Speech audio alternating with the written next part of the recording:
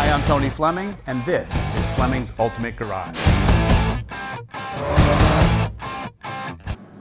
Aston Martin call it the Vanquish, we call it the Vanish.